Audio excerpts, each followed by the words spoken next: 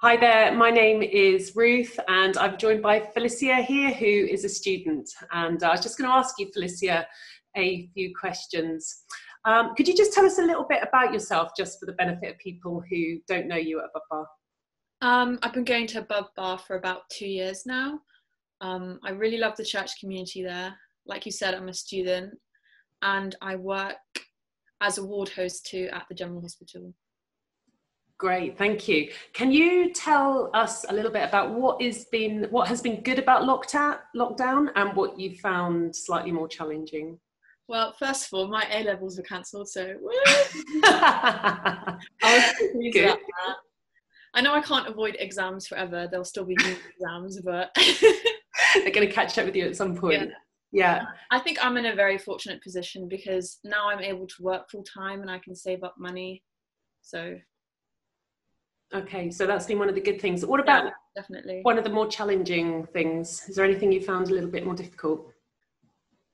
Like I'm a I'm a really sociable person, so like I really miss my friends and just like the freedoms that I used to have, like to just get up and go like wherever I wanted. Especially since my best friend Joelle had just gotten a car, so she'd always come to pick me up late at night, and we'd like drive down to the beach.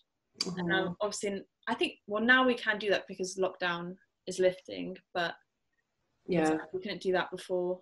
Yeah. But again like i recognize i am in a very fortunate position. I am like really blessed because like i know if this is a really difficult time for people because they have people that they have loved ones that are sick or they've lost their jobs. So mm. lots to give thanks for. Yeah.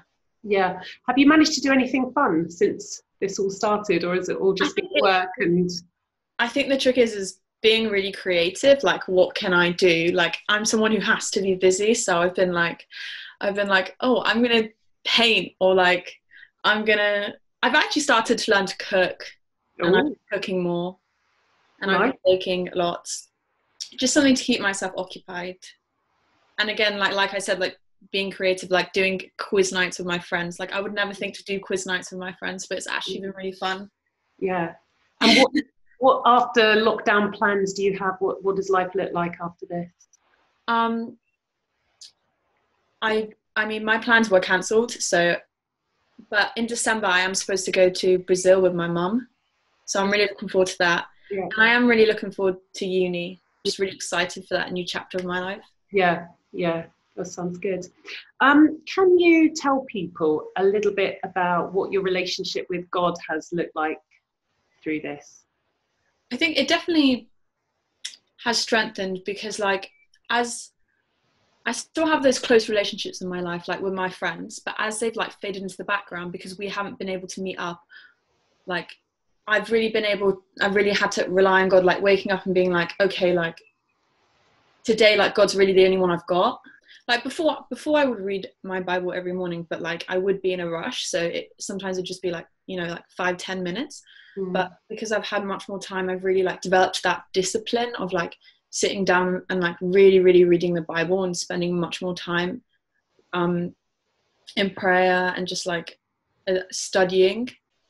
That sounds good. I guess for a lot of people, there's things that we want to carry forward from this time.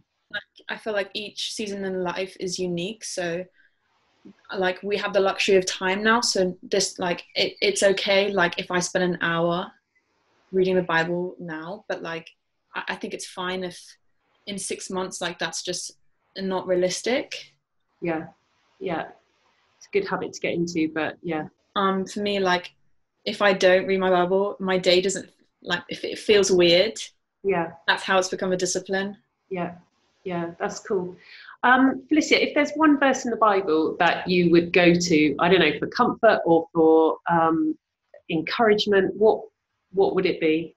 I'm reading Psalms, so like I keep seeing it come up all the time, like God is our refuge, and I think, I think it's like one of the more like famous Psalms where it says like, God is our fortress, He'll protect you, and I think like when you're going through a really difficult situation, it's just knowing someone has your back, or like, like God will always be there for you. He loves you unconditionally. Yeah. Thanks, Felicia, for um, answering those questions. It's great to see you. Can't wait to have a coffee with you when this is all over.